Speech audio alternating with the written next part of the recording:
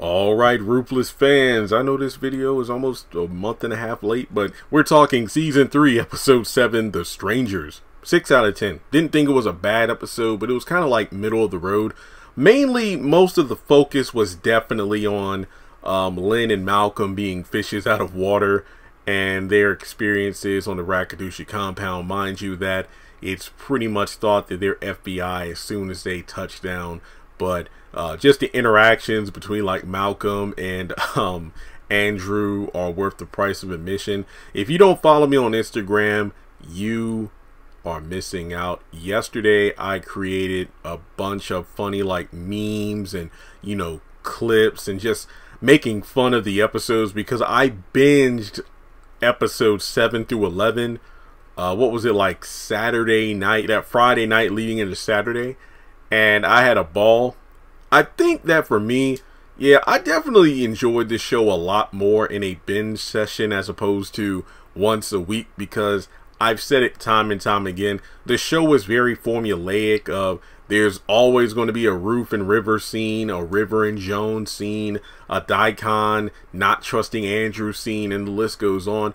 But given that season three is actually moving the story forward, it feels like it's not a waste of time to watch these episodes. But uh, let's just jump into this review. But like I said, definitely check out the Instagram page. I made almost 20 different, you know, funny things. The cast have been eating them up. And like I said, I had a blast doing it. So let's jump into the episode. So Lynn and Malcolm are there, and uh, Daikon is overall pleasant to the two. He's happy to see Lynn again, who you know brought a guest. He wasn't expecting. Uh, so are you two dating? Is this your boyfriend or something, or what's going on with that? And keep in mind that if I remember correctly. Daikon knows that Lynn is married. She just said, you know, oh, I'm done with this life. I'm tired of being just a housewife, or, or you know, no, actually, she was a teacher, I believe wasn't she originally like a cop, then a teacher, and then she had to keep moving because of Brian's job? But regardless, Andrew is pretty much abrasive towards Malcolm, and you know, Daikon tries to hold him back. But Lynn explains that, yeah, you know, um, we're here as a couple, so basically, you know, I can only stay if he stays, but if he can't stay, I have to go. So it's agreed that Malcolm can stay along with Lynn, and Malcolm is just over the top, you know, in terms of being overly enthusiastic. He just gives a bear hug to Daikon, who really isn't feeling it. Then he does the same to Andrew, who's just like stone faced the entire time. Um, but from there, uh, Zane is called over by Daikon to take Lynn to the outhouse, and um, she's kind of like, "Wait, you all don't have indoor plumbing? No. Oh, um, okay." So Andrew and uh, Malcolm are having a stare down, and it's brought up uh, you know, that, oh, I was in the Navy. Uh, you know, Malcolm tells that to Daikon. And uh, Daikon's like, oh, okay, well, yeah, uh, Andrew here, he was in the uh, Army. And then Daikon kind of leans over, you know, makes a joke about him. Like, oh, yeah, we used to call them, you know, little girls and whatnot. And Daikon didn't think that was funny. So, going over to the outhouse, which is next to the shower, because Lynn is like, wait, so you all shower together and the outhouse is right here? And uh, then El Supreme Elder Mother steps up and, you know, greets Lynn. You know, oh, it's nice to see you again because remember, she knows Lynn from the couple of times she's been to the uh, compound. And wait, how many times has she been there? I think twice already, if I'm not mistaken. I, I don't. I know it was the one time she went and got abducted in season one when she went there by herself, but uh, regardless, she just tells her, "Oh yeah, it's fine. You know, we're very open around here." And I just noticed how I know we've seen scenes where people shower before. That's not out of the ordinary, but it's just funny how slowly they shower. Like if you look at the people in the shower, which I think that men and women shower together. I could be wrong about that, but I do believe that is the case. And remember, I binged these episodes. I feel like there was one episode where I'm like, wait, that's a woman and a man in the shower together. Okay. But yeah, just look at how slowly they move around, like, you know, the soap and whatnot. I thought that was funny. But um, regardless, it's just funny to see Bougie Lynn using an outhouse. It's like, well, you thought the grass was greener, and now you see that it's not. But uh, we go over to Andrew and Malcolm walking around the compound, and you know he's questioning Malcolm like, "What the hell are you doing here?" This kind of reminded me of towards the mid-season of season one, where Brian and the sheriff are at the compound, and it's Andrew and Brian interacting for like the first time, walking around, and they're kind of you know uh, grilling each other. It's kind of the same vein, and Malcolm is like Max sent me. Andrew knows that's BS, and he points over to the kids to let Malcolm know, look, this isn't a game. Like this is the real deal. If you blow this operation, people are going to get hurt and die you know, basically trying to snap Malcolm out of his whole, you know, effing around for my showing him like, you know, little kids are in danger, so you better get out of here. But Malcolm, he doesn't care. He's just acting like this is a game. And, you know, again, Andrew's like, look, man, you need to go. But it's like, you know what? Fine. If you tripping, I'm going to show myself around the compound. So we go over to Joan and Ruth, and um, she basically wants her to check on River for uh, her due to the fact that you know he's still a bit off kilter due to the way that the highest treats him and whatnot. And uh, Ruth said, you know, man, I don't want to talk to River, but hey, you do that. But here's why. Here's what I could do for you, Ruth. I can do what I can to delay the pregnancy test for a couple of days. You know, in regards to saying that there isn't enough money for the test, but she'll do what she can. Now, Lacey and Oliver in the punishment trailer, and um, they they kind of just you know chat for a little bit, and this is something that I find funny about Lacey in terms of being a recurring trait. Every time she's in a locked up position, we slowly see her deteriorate from one minute she's being hopeful to the next, like, I can't take this anymore. But basically, her and Oliver chat about, you know, just hope that things are going to turn out okay. Uh, she mentions, you know, I could really, I really wish I had some ice cream right about now. And, um, yeah, I mean, that's all they can do. Just hope. I mean, they pretty much know this the end. Like, there's literally no way out of this. Um, but they're, they're just trying to make it through together.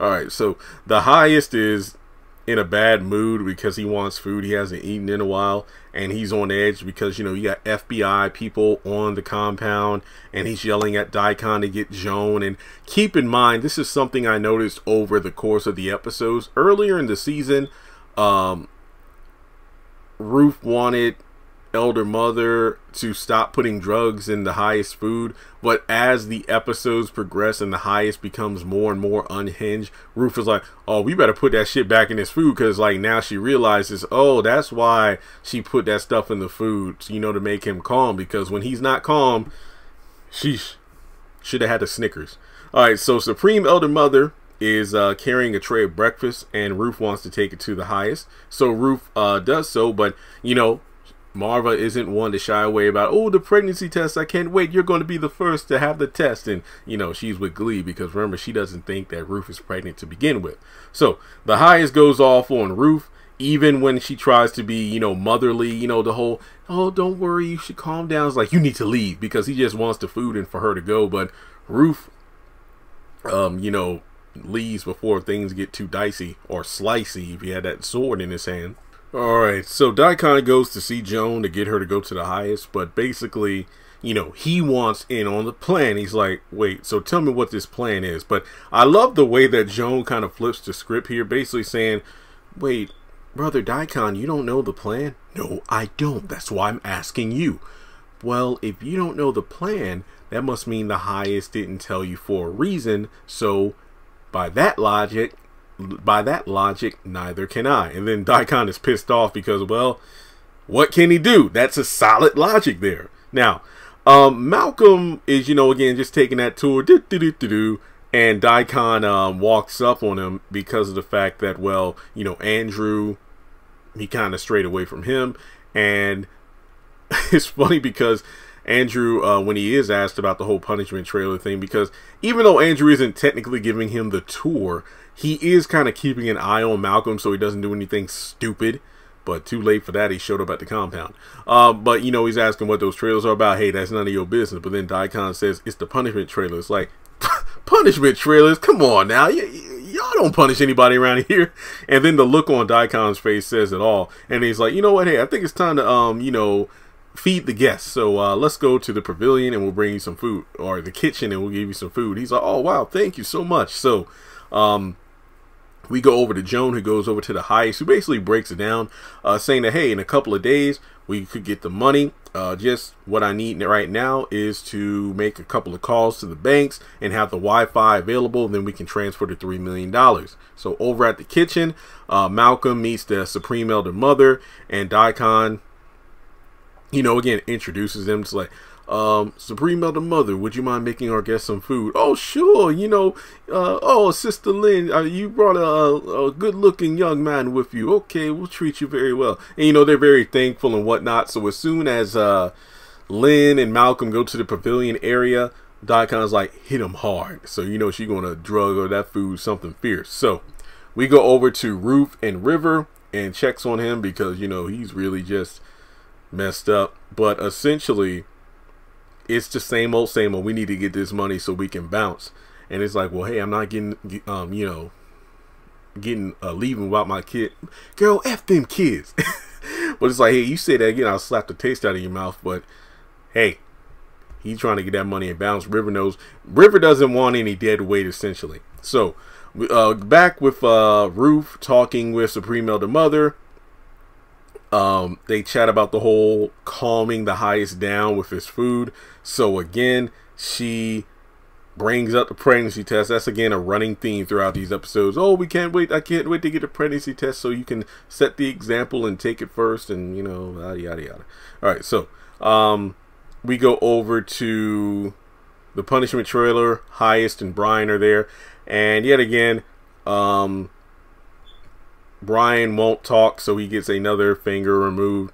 And interestingly enough, a semi stripped Lynn, who is knocked out from the food, is tossed in because, so do you know her? and then Brian's like, what? So, oh yeah, it's funny because I didn't really talk about this, but it's funny when you go back to the moment where um, Lynn and Malcolm are eating, and you have, I think, Andrews off to the side, and you have Daikon and Marva, who are they're essentially like vultures, you know, like they're just waiting for the drugs to kick in so they pass out. So Malcolm is like, oop, oop, so he stands up and then falls out on the table and is like, wait, what, what, what's happening? He's like, no worry, he'll be okay. Did you do something to our food? Oh, and then she passes out. But I ain't gonna lie, that food looked pretty good because, uh, yeah, it looked pretty good. But essentially, this was a pretty okay episode. It wasn't bad, like I said. It was just like, yeah, we're setting up what's happening next with new prisoners at the compound. Uh, you know, Malcolm and Lynn are passed out, and you got Brian who's down another finger. So, thanks so much for tuning in. Thanks so much for uh, just being patient. Well, Nah, it's been five weeks. Y'all weren't patient. Uh, thanks for tuning in, that is. Hit the thumbs up button to show you like the video. Follow me on social media. Links are in the description below. Hit subscribe and hit the bell icon to select all. That way you don't miss out whenever I post content on the channel.